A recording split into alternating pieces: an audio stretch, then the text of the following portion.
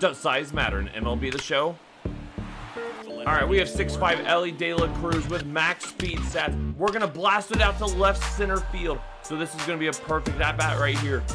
We're already at first with four seconds. He seemed a little sluggish out of the gate, um, but we're already at 11 seconds at third base. Let's see what his time is at home. 14.53. Okay, Jose Altuve now up.